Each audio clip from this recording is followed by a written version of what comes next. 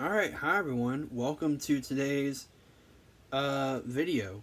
So, yeah, this is going to be the first of one of two series that we're going to be coming back to uh, this year in 2024. Uh, the main one that we were definitely going to eventually come back to this year was is uh, the presidential election series, which we will not touch that until December. So we got a long while before that.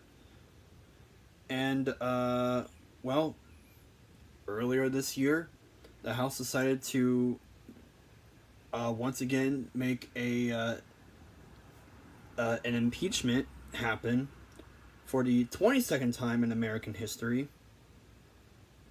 So here we are. So today we're going to be talking about the congressional, well, not really congressional, but um, we're going to be talking about the impeachment of Alejandro Mayorkas. So we're going to briefly talk about who he is as a person, like where he is in terms of like government. Uh, he has been alive since 1959.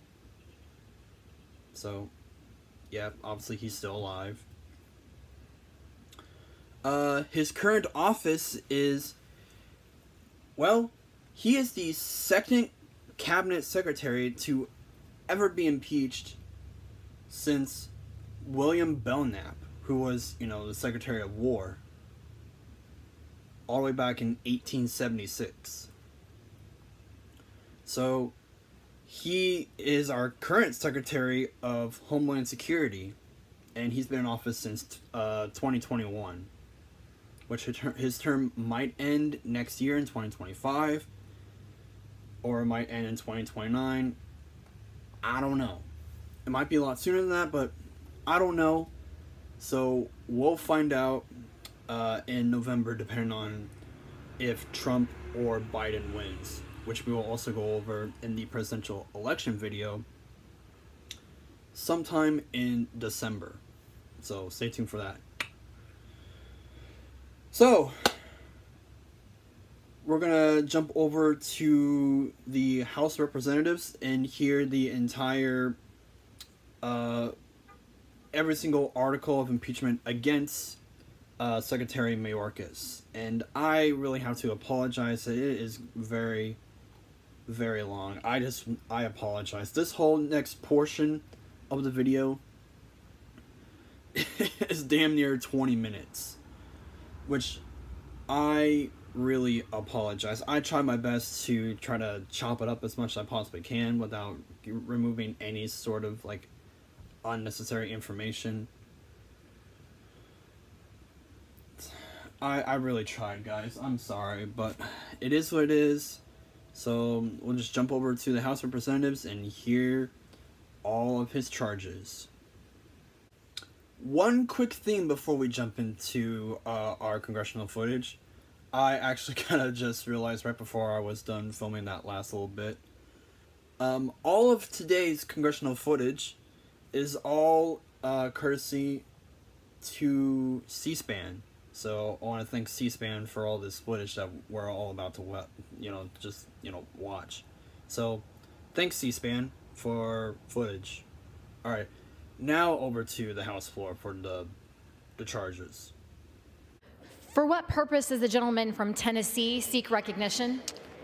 Madam Speaker, Pursuant to House Resolution 996, I call up House Res 863 and ask for the immediate consideration in the House. The House will be in order. Please take your seats or take your conversations outside. The clerk will report the resolution. House Calendar Number 60, House Resolution 863. Resolved that Alejandro Nicolas Mayorkas, Secretary of Homeland Security of the United States of America, is impeached for high crimes and misdemeanors, and that the following articles of impeachment be exhibited to the United States Senate. Articles of impeachment exhibited, exhibited by the House of Representatives of the United States of America in the name of itself and of the people of the United States of America against Alejandro N. Mayorkas, Secretary of Homeland Security of the United States of America, and maintenance and support of its impeachment against him for high crimes and misdemeanors. Article 1, willful and systemic refusal to comply with the law. The Constitution provides that the House of Representatives shall have the sole power of impeachment, and that the civil officers of the United States, including the Secretary of Homeland Security, shall be removed from office on impeachment for and conviction of treason, bribery, or other high crimes and misdemeanors. In his conduct while Secretary of Homeland Security, Alejandro N. Mayorkas, in violation of his oath to support and defend the Constitution of the United States against all enemies, foreign and domestic, to bear true faith and allegiance to the same, and to well and faithfully discharge the duties of his office, has willfully and systemically refused to comply with federal immigration laws and that, throughout his tenure as Secre- Secretary of Homeland Security, Alejandro N. Mayorkas has repeatedly violated laws enacted by Congress regarding immigration and border security. In large part because of his unlawful conduct, conduct, millions of aliens have illegally entered the United States on an annual basis, with many unlawfully remaining in the United States. His refusal to obey the law is not only an offense against the separation of powers in the Constitution of the United States, it also threatens our national security and has had a dire impact on communities across the country. Despite clear evidence that his willful and systemic refusal to comply with the law has significantly contributed to unprecedented levels of illegal entrance, the increased control of the southwest border by drug cartels, and the imposition of enormous costs on states and localities affected by the influx of aliens, Alejandro N. Mayorkas has continued in his refusal to comply with the law and thereby acted to the grave detriment of the interests of the United States. Alejandro N. Mayorkas engaged in this scheme or course of conduct through the following means. One, Alejandro N. Mayorkas willfully refused to comply with the de- detention mandate set forth in Section 235B2A of the Immigration and Nationality Act, requiring that all applicants for admission who are not clearly and beyond a doubt entitled to be admitted shall be detained for a removal proceeding. Instead of complying with his requirement, Alejandro N. Mayorkas implemented a catch and release scheme whereby such aliens, aliens are unlawfully released even without effective mechanisms to ensure appearances before the immigration courts for removal proceedings or to ensure removal in the case of alien ordered removed. Two, Alejandro N. Mayorkas willfully refused to comply with the detention mandate set forth in Section 235B1B II of such act, requiring that, requiring that an alien who is placed into expedited removal proceedings and determined to have a cr- credible fear of prosecution shall be detained for further consideration of the application for asylum. Instead of complying with this requirement, Alejandro N. Mayorkas implemented a catch and release scheme whereby such aliens are unlawfully released, even without effective mechanisms to ensure appearances before the immigration courts for removal proceedings or to ensure removal in the case of aliens ordered removed. Three, Alejandro N. Mayorkas willfully refused to comply with the detention set forth in Section 235B1B-III-4 of such act, requiring that an alien who is placed into expedited removal proceedings and determined not to have a credible fear of persecution shall be detained until removed. Instead of complying with this requirement, Alejandro N. Mayorkas has implemented a catch and release scheme whereby such aliens are unlawfully released, even without effective mechanisms to ensure appearances before the immigration courts for removal proceedings or to ensure removed in the case of aliens ordered removed. Four, Alejandro N. Mayorkas willfully refused to comply with the detention mandate set forth in Section 236C of such act, requiring that a criminal alien who is inadmissible or deportable on certain criminal and terrorism-related grounds shall be taken into custody when the alien is released from law enforcement custody Instead of complying with this requirement, Alejandro N. Mayorkas issued guidelines for the enforcement of civil immigration laws, which instructs Department of Homeland Security, here and thereafter referred to as DHS, officials that the fact an individual is a removable non-citizen shall not alone be the basis of an enforcement action against them, and that DHS personnel should not rely on the fact of conviction alone even with respect to aliens subject to mandatory arrest and detention pursuant to Section 236C of such act, to take them into custody.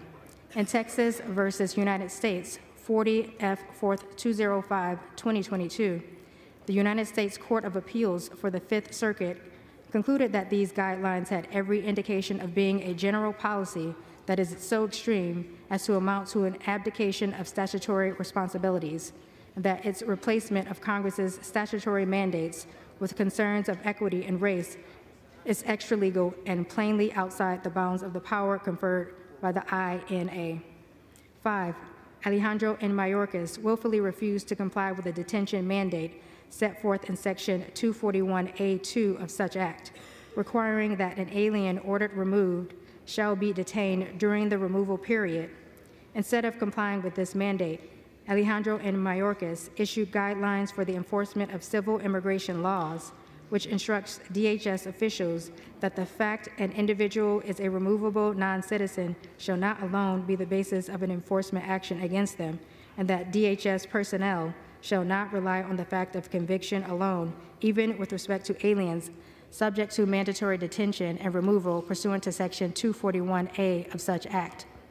Six, Alejandro N. Mayorkas willfully exceeded his parole authority set forth in Section 212D5A of such act that permits parole to be granted only on a case-by-case basis, temporarily and for urgent humanitarian reasons or significant public benefit in that A. Alejandro N. Mayorkas paroled aliens en masse in order to release them from mandatory detention, despite the fact that as the United States Court of Appeals for the Fifth Circuit concluded in Texas versus Biden 20 F 4th 928 2021, paroling every alien DHS cannot detain in the opposite of the case-by-case basis determines required by law and DHS's pretended power to parole aliens while ignoring the limitations Congress imposed on the parole power is not non-enforcement. It's misenforcement, suspension of the INA, or both. B.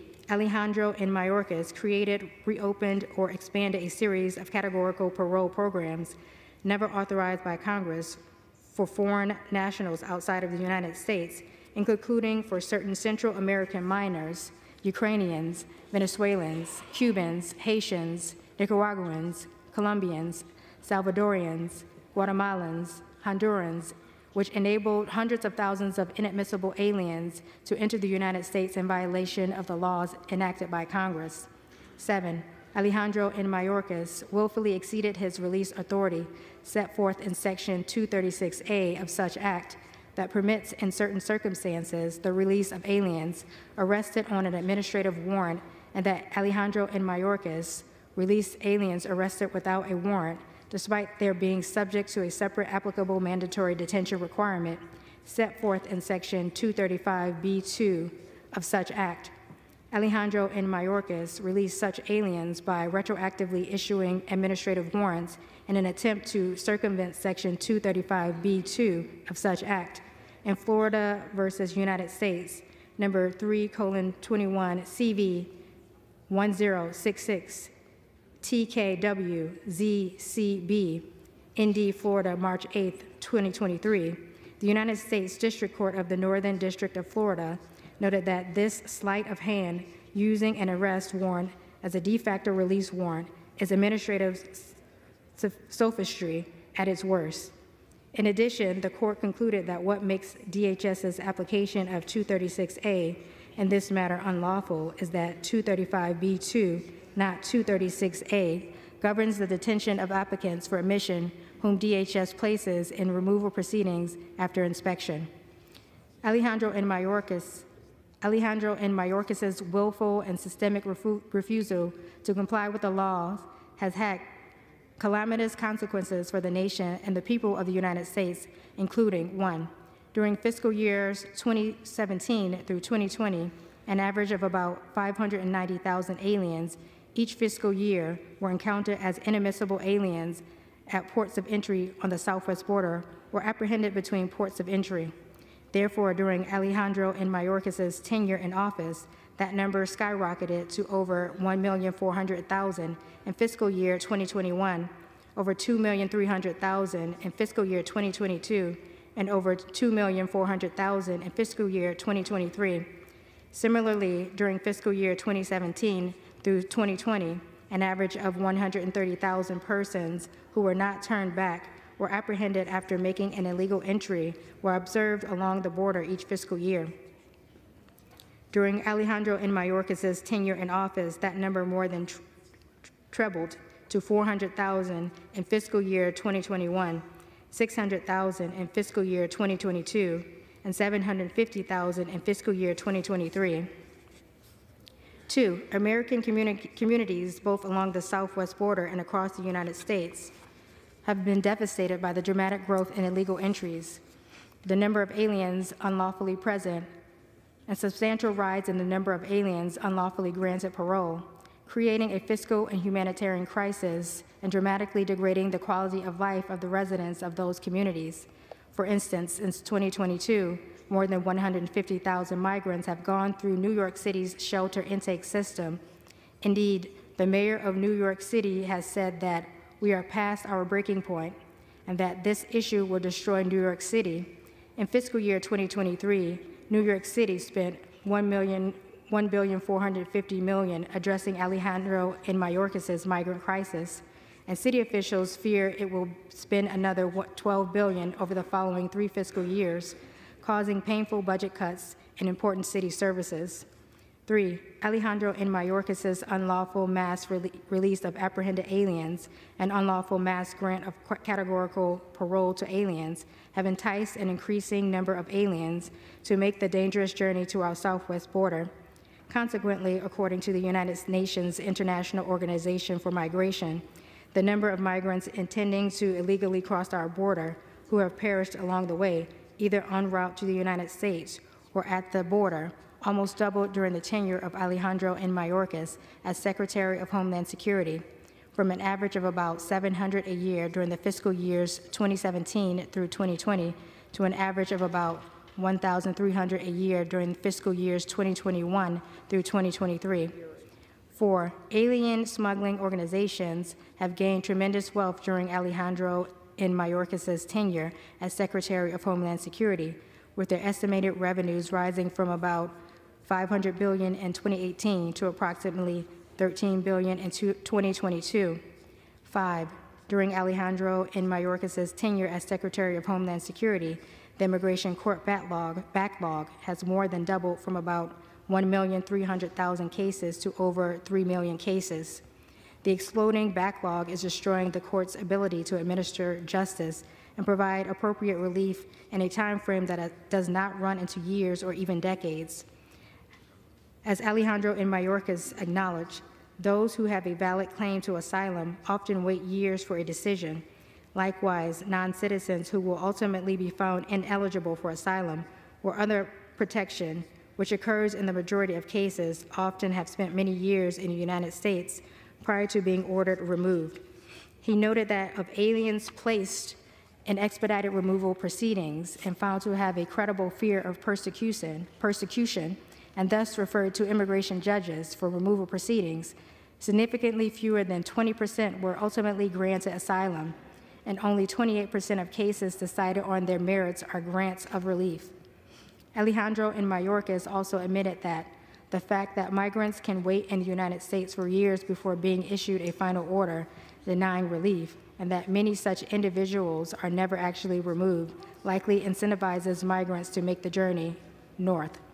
Six, during Alejandro N. Mayorkas' tenure as Secretary of Homeland Security, approximately 450,000 unaccompanied alien children have been encountered at the southwest border, and the vast majority have been released into the United States. As a result, there has been a dramatic upsurge in migrant children being employed in dangerous and exploitive jobs in the United States. Seven, Alejandro N. Mayorkas' failure to enforce the law, drawing millions of illegal aliens to the southwest border, has led to the reassignment of U.S. Border Patrol agents from protecting the border from illicit drug trafficking to processing illegal aliens for release. As a result, during Alejandro N. Mayorkas' tenure as Secretary of Homeland Security, the flow of fentanyl across the border and other dangerous drugs, both at and between ports of injury, entry, has increased dramatically. U.S. Customs and Border Protection seized approximately 4,800 pounds of fentanyl in fiscal year 2020 approximately 11,200 pounds in fiscal year 2021, approximately 14,700 pounds in fiscal year 2022, and approximately 27,000 pounds in fiscal year 2023. Over 70,000 Americans died from fentanyl poisoning in 2022, and fentanyl is now the number one killer of Americans between the ages of 18 and 45. Eight, Alejandro N. Mayorkas has degraded public safety by leaving wide swaths of the border effectively unpatrolled as U.S. Border Patrol agents are diverted from guarding the border to process, processing unlawful release, the heightening ways of apprehended aliens, many who now seek out agents for the purpose of surrendering with the now reasonable expectation of being released and granted work authorization. And federal air marshals are diverted, are diverted from protecting the flying public to assist in such processing.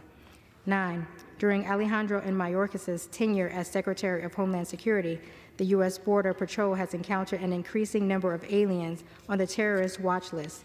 In fiscal year 2017 through 2020 combined, 11 non-citizens on the, non, on the terrorist watch list were caught attempting to cross the southwest border between ports of entry.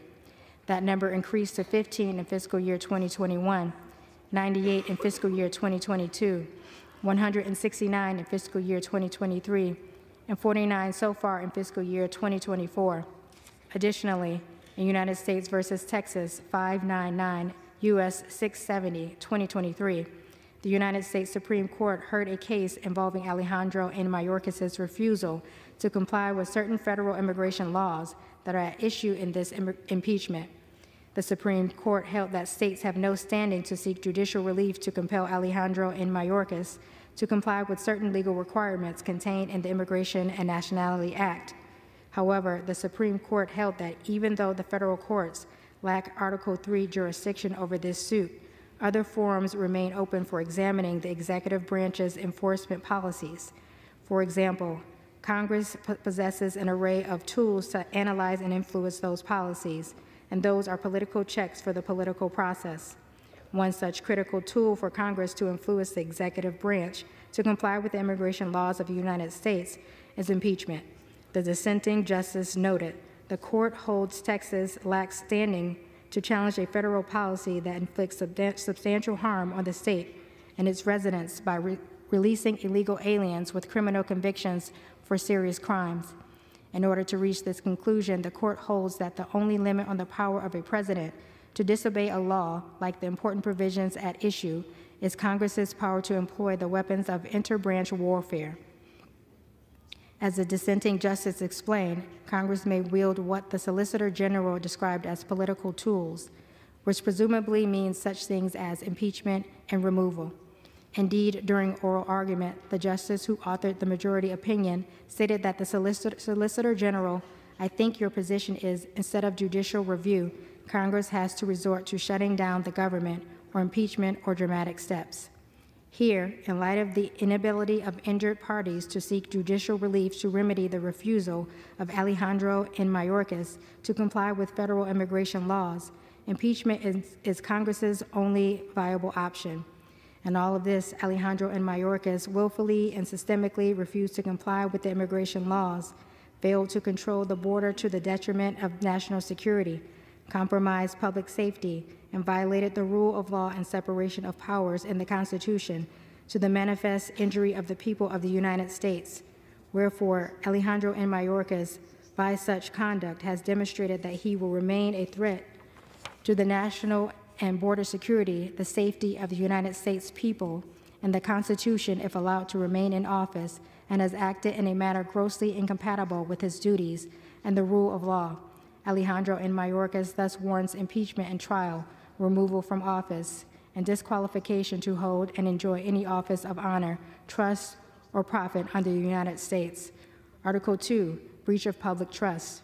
The Constitution provides that the House of Representatives shall have the sole power of impeachment, and that civil officers of the United States, including the Secretary of Homeland Security, shall be removed from office or impeachment for and conviction of treason, by bribery, or other high crimes and misdemeanors in his conduct while Secretary of Homeland Security, Alejandro N. Mayorkas, in violation of his oath to well and faithfully discharge the duties of his office, has breached the public trust, and that Alejandro N. Mayorkas has knowingly made false statements and knowingly obstructed lawful oversight of the Department of Homeland Security, herein thereafter referred to as DHS, principally to obfuscate the results of willful and systemic refusal to comply with the law.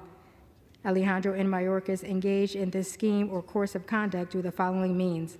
One, Alejandro N. Mayorkas knowingly made false statements to Congress that the border is secure, that the border is no less secure than it was previously, that the border is closed, and that DHS has operational control of the border, as that term is defined in the Secure Fence Act of 2006. Two, Alejandro N. Mayorkas knowingly made false statements to Congress regarding the scope and adequacy of the vetting of the thousands of Afghans who were airlifted into the United States and then granted parole following the Taliban takeover of Afghanistan after President Biden's precipitous withdrawal of United States forces. Three, Alejandro N. Mayorkas knowingly made false statements that the apprehended aliens with no legal basis to remain in the United States were being quickly removed. Four, Alejandro N. Mayorkas knowingly made false statements supporting the false narrative that U.S. Border Patrol agents maliciously whipped illegal aliens. Five, Alejandro N. Mayorkas failed to comply with multiple subpoenas issued by congressional committees. Six, Alejandro N. Mayorkas delayed or denied access of DHS Office of Inspector General, hereinafter referred to as OIG, to DHS records and information hampering OIG's ability to effectively perform its vital investigations, audits, inspections, and other reviews of agency programs and operations to satisfy the OIG's obligations under Section 402B of Title V United States Code in part to Congress.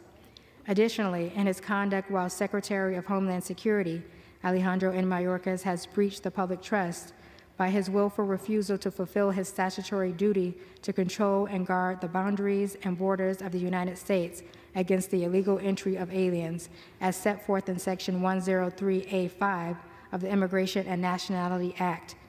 Alejandro N. Mayorkas inherited what his first chief of the U.S. Border Patrol called arguably the most effective border security in our nation's history. Alejandro N. Mayorkas, however, proceeded to abandon effective border security initiatives without engaging in adequate alternative efforts that would enable DHS to maintain control of the border and guard against illegal entry. And despite clear evidence of the devastating consequences of his actions, he failed to take action to fulfill his statutory duty to control the border. According to his first chief of the U.S. Border, border Patrol, Alejandro N. Mayorkas similarly rejected the multiple options to reduce the illegal entries through the proven programs and consequences provided by civil servant staff at DHS.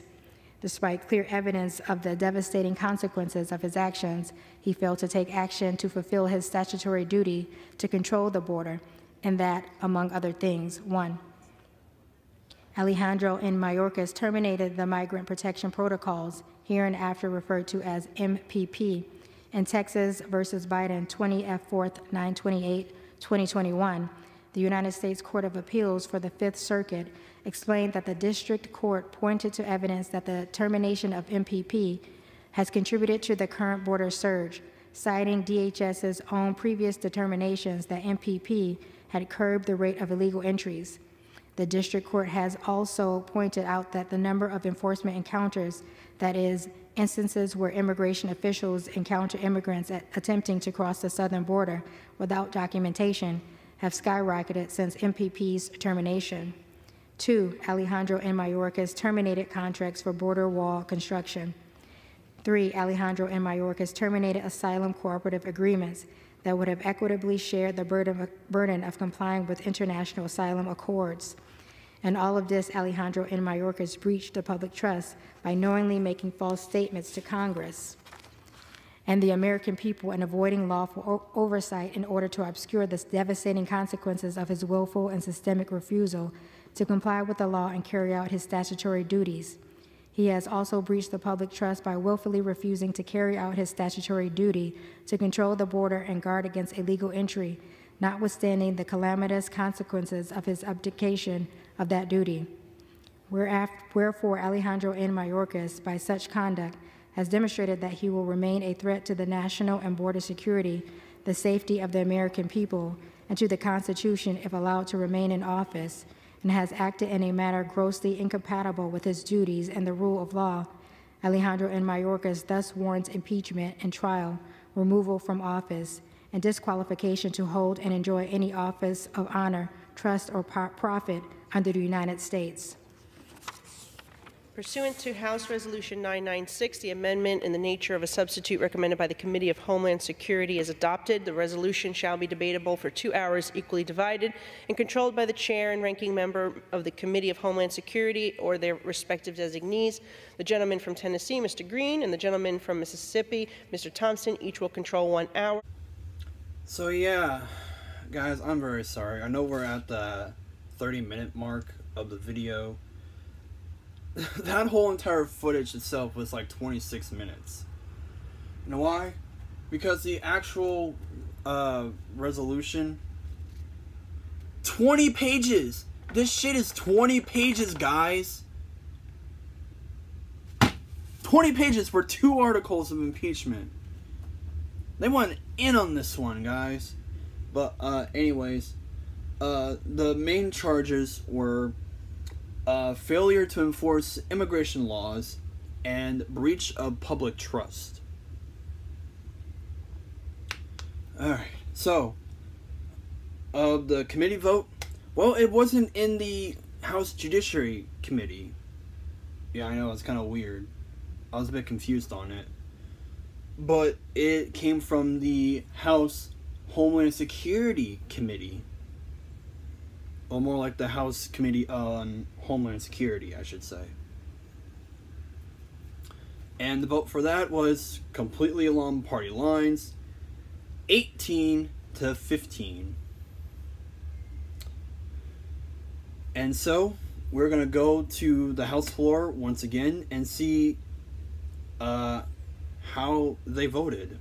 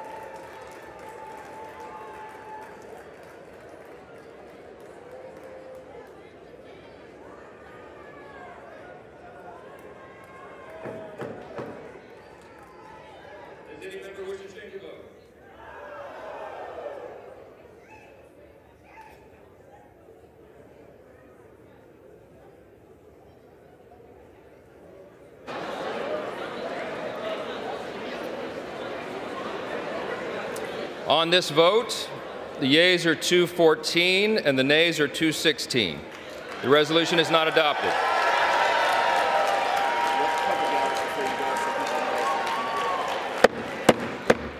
All right, so right there you saw the House voting 214 to 216 on whether or not if Mayorkas should be impeached. And it failed. Yeah, um uh, at the podium there was Speaker Mike Johnson uh, delivering the final vote. So, how did each party uh, vote? Well, all but five Republicans voted in favor to impeach him, while all 212 Democrats voted to not impeach him.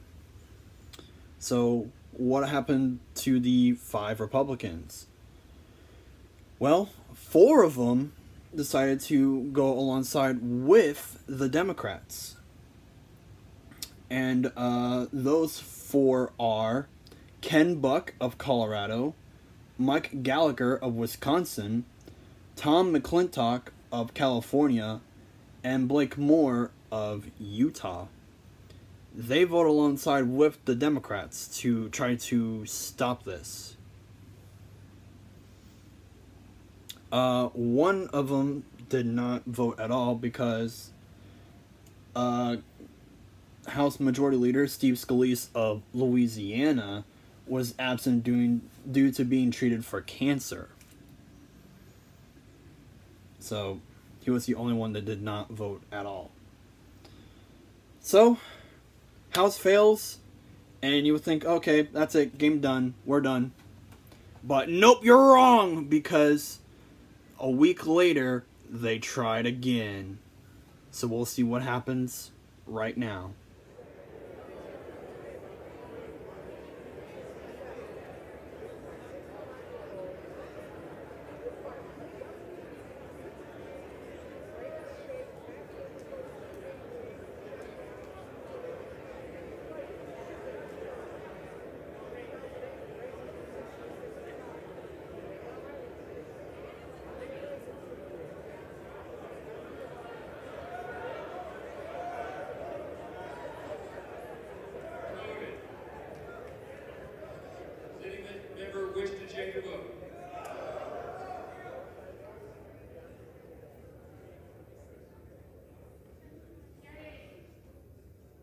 On this vote, the yeas are 214 and the nays are 213.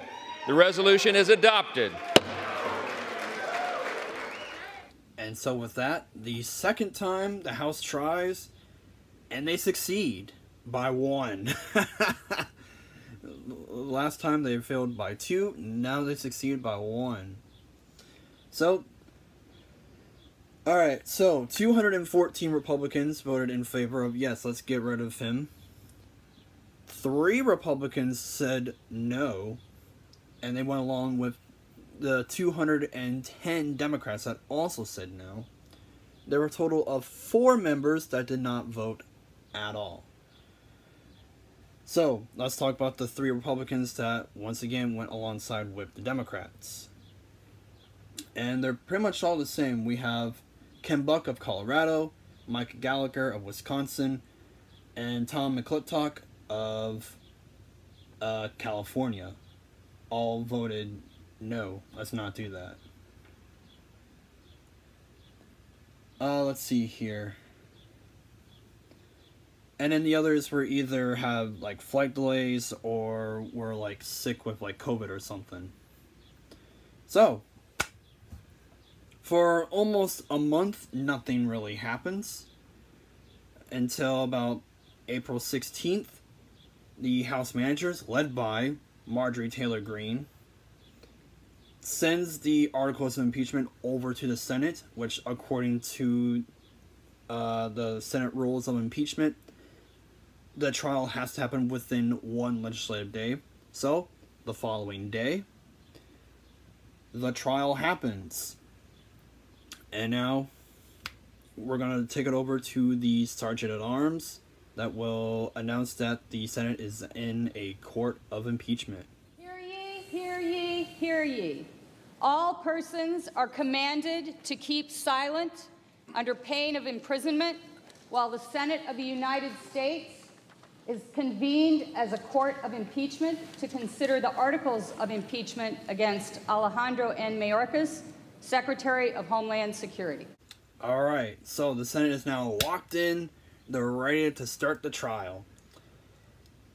Unfortunately, as we are uh, about to learn here in just a few moments, since the Republicans control the House of Representatives, the Democrats still control the Senate.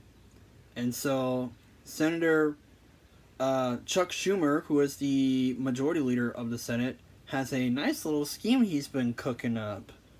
So let's see what he has to say. Madam President, I raise a point of order that impeachment Article 1 does not allege conduct that rises to the level of a high crime or misdemeanor as required under Article 2, Section 4 of the United States Constitution, and is therefore unconstitutional. Yeah, the Senate thinks that, you know, it's unconstitutional to uh, claim that someone is uh, not following uh, procedures. And so there were tries to, you know, to try to table it.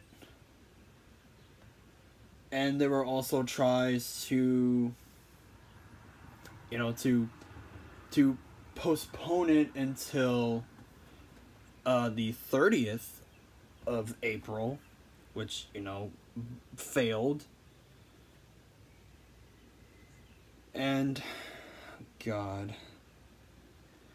And so let's see what the Senate eventually says overall for Article 1 of Mayorkas's uh, charge. On this vote, the yeas are 51, the nays are 48. One senator responded present. The point of order is well taken, and the article falls. Madam President, Majority Leader is recognized. I raise a point of order that impeachment Article 2 does not allege conduct that rises to the level of a high crime or misdemeanor as required under Article 2, Section 4 of the United States Constitution and is therefore unconstitutional. Yeah, if they succeed at one, they're gonna try for the other one too. So, uh, as you see right there, is that 51 senators say, yes, we're gonna get rid of it, which is the simple majority, by the way. And 48 senators say, no, we're, we don't want to get rid of it. We're going to keep going with this. But one marked present, and that is uh, Senator Murkowski of Alaska. She was the only one that said present. Meaning that she didn't want to have her say whatsoever, but she just said, hey, I'm here. okay, so, first impeachment uh, claim is dropped. And Senator Schumer there, as you as you saw right there, said, "Hey, we want to get rid of the second one now." So we're going to see how the Senate says with this one. On this vote, Senate will be in order. On this vote, the yeas are 51, the nays are 49. The point of order is well taken. Article, Article 2 falls. Madam President, Majority Leaders recognized. I move to adjourn the impeachment trial of Alejandro N. Mayorkas, sine die, and I ask for the yeas and nays. Yeah, and they did the same thing again with this one. now, um, as you may have also seen, uh, Senator Schumer wants to adjourn the court of impeachment, and that way they can go on to their regular normal work. So we're to go over the votes here real quick.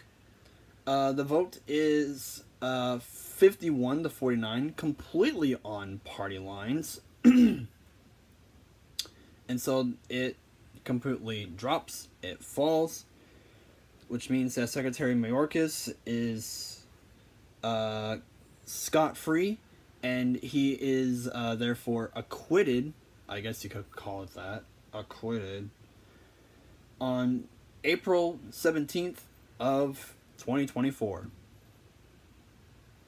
And now we'll see how the Senate says, hey, we're done with impeachment. We'll see.